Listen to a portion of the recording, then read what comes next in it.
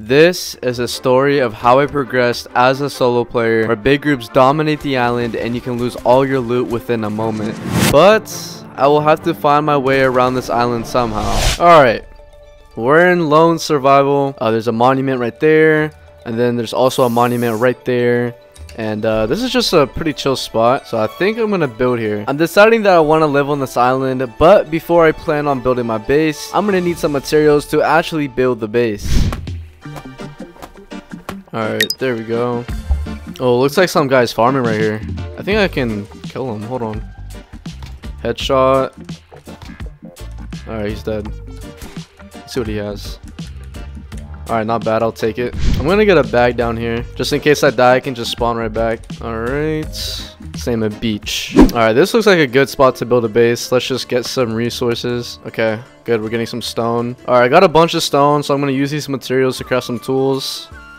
There we go. Now I'm going to be getting resources a lot faster. I mean, look how much wood I'm getting. It's actually kind of flat up the hill. So I think this might work. Let's get my door down. All right, now I'm going to add my TC so no one else can build. All right, so I got my base down. Look at it.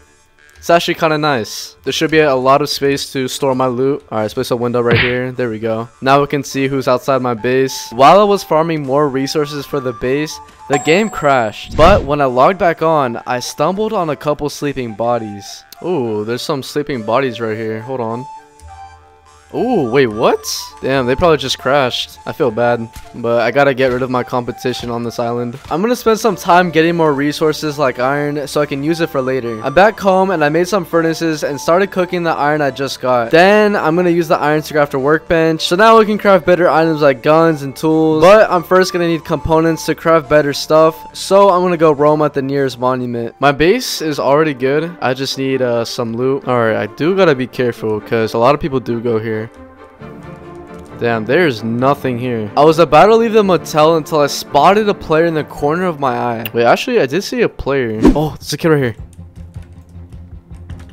Hit him. He's running. Come here.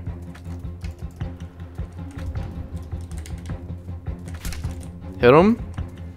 Come on. You gotta be low. There we go.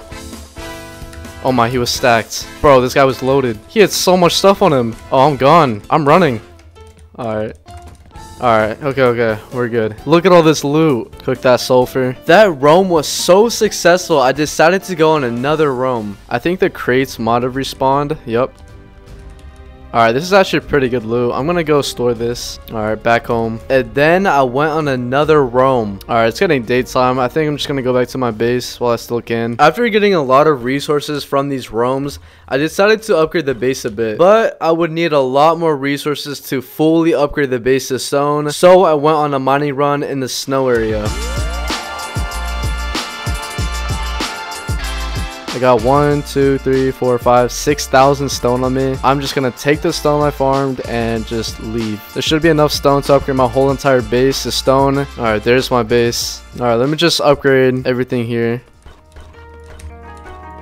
Alright, my full base is now upgraded to stone. Alright, let me cook some iron now. With a bunch of leftover resources, I decided to upgrade the whole base by adding more doors, a second floor, and some honeycomb. I got a layer of honeycomb around the whole entire base, so it should be a lot more protected. So right now, I gotta get more stone to fully upgrade the base to stone, because right now we have a lot of wood on the second floor. But after the sun began to rise, I decided to go on another roam. But while I was swimming across the river, I would be met by a duo. Alright, hit his friend. Hit him again. Oh, he's running. Ah, they hit in their base. Oh, there's a whole nother duo right here. What? There's another duo. Come here.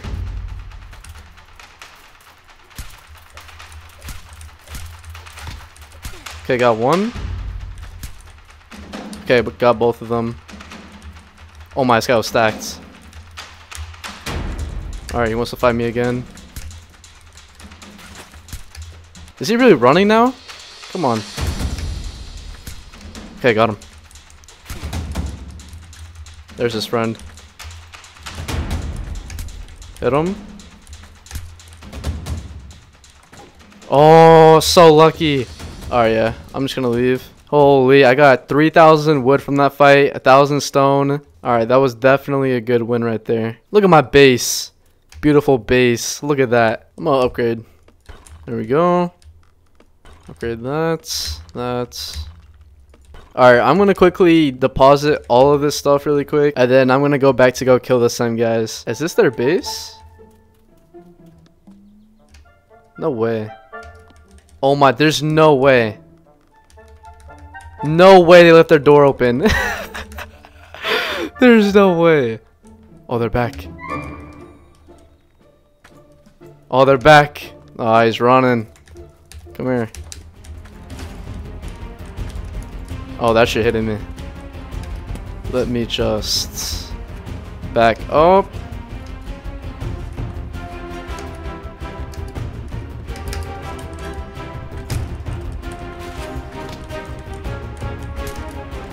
One dead.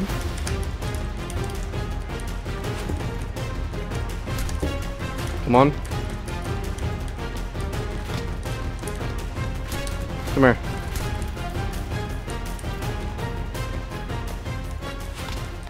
There we go, got him. Holy. Alright, I'm leaving. I'm leaving, I'm leaving. Oh, they are so mad. They are so mad. He's shooting me. I'm sorry, bro. You are not getting your stuff back. SMG kit. I mean, I'll take it, bro. Alright, let me depot this. Day one was a success. We managed to get a base down and upgrade the base a lot. Many battles won, and from all the fights we won, we now have a ton of loot. So, now I'm gonna go to sleep, so hopefully I don't wake up to my base being offline raided. On day 2, I logged into the server and I was very surprised I didn't get raided. I began to make more boxes to store more loot later on. After that, I decided to go on a roam, but while I was walking around, I spotted another player.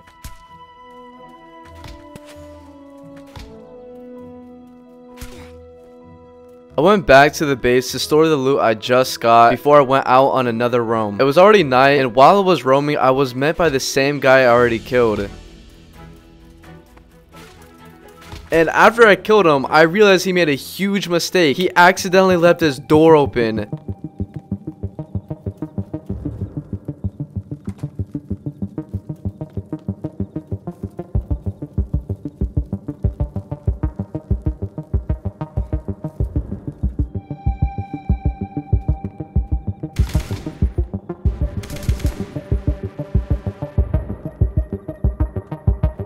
I started to mind the window so I could escape, but while I was doing that, the base owner opened the door. So I instantly started to break his back so he couldn't spawn anymore. After that, I was getting all the remaining loot from the base. I got rid of the window and I ran as fast as I could to my base. And look how much we profited from that. We now have a ton of guns, a lot of resources. This is a very good start for day two. I took the remaining stone that I had to upgrade more of the base. I needed a lot more resources to upgrade the base, so I went on a huge mining run.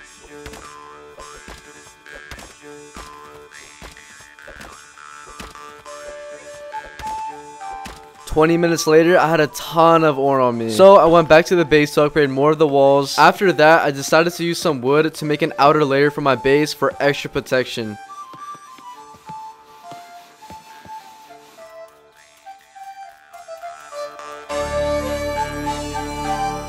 For day 3, I started to use the iron I got from my mining runs to upgrade the base to iron. Then I went to Lighthouse to get some loot, but I would have some company.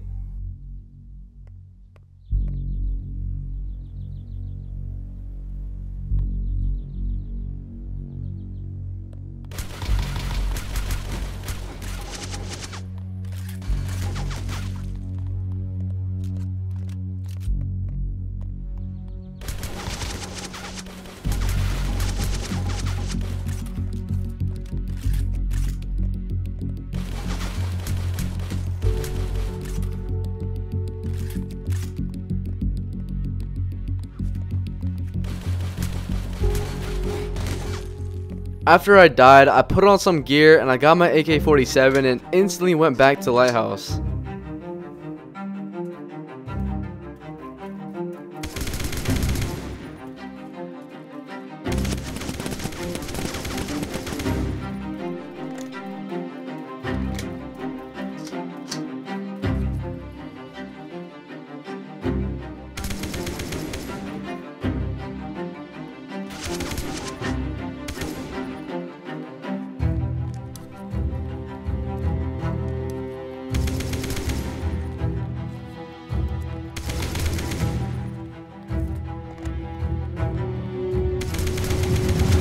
Okay, I managed to kill them, but now I need to collect all the loot and run back to base as soon as possible before they come back to kill me.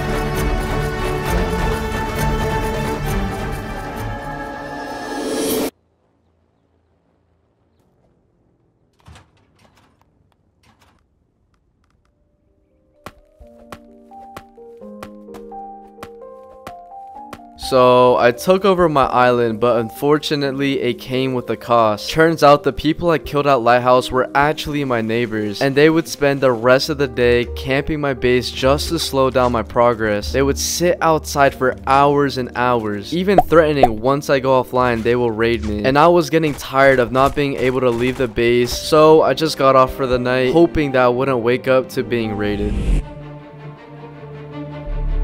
I got on the next day to find out my base got raided and I could still hear some people mining into my base and I was not gonna give up that easily.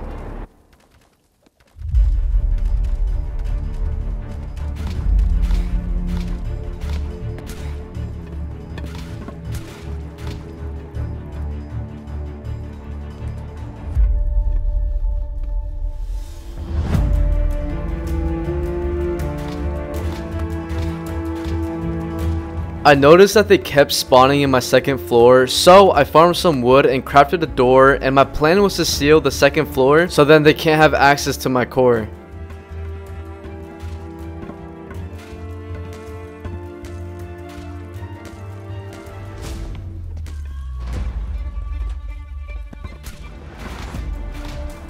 So now the base is fully sealed and they can't enter the base anymore. I spent the next 30 minutes looking at the damage and just sealing the base. This was a huge defeat. My base was in crumbles. My loot has been stolen and I simply have nothing but an empty base. I can't believe those guys actually offline raided me. Now I only have one goal in mind. Revenge.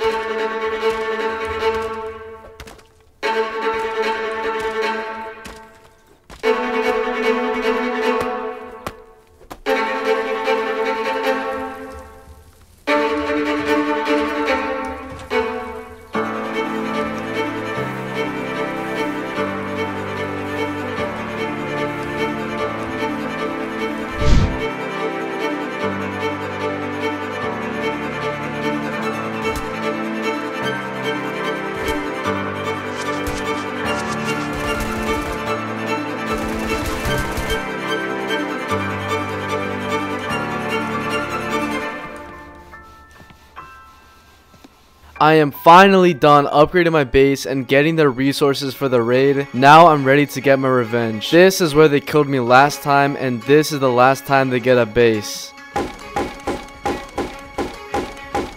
There we go. Alright, let's see what they got. Uh, nothing pretty bad. But they still have one more door and I can see a couple boxes in there.